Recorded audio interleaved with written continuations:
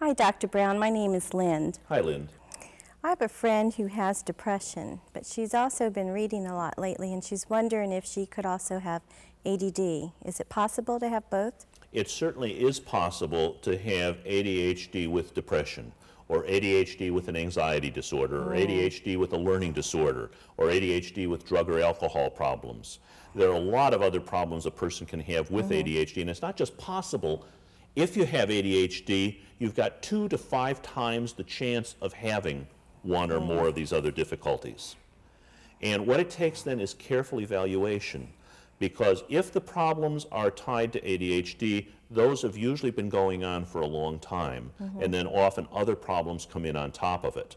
There are a few symptoms that overlap, but a good evaluation should make it possible to identify is this ADHD or is it depression or, as is often the case, is it both?